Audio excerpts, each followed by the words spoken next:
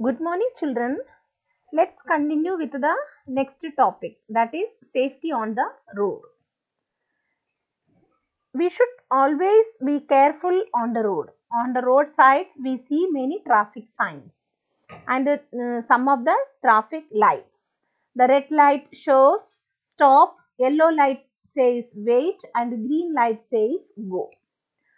Always walk on the footpath. If there is no footpath, walk on the right side of the road so that you can see the traffic coming.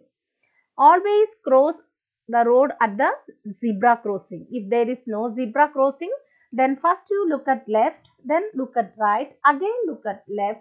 Then if you confirm that there is no vehicle coming, then you cross the road. Do not play or run on the road. Do not walk between the vehicles parked on the road.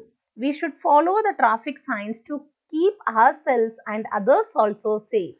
Some of the traffic signs are here just to go through it like speed breaker, no entry, school ahead, no U-turn, zebra crossing, etc.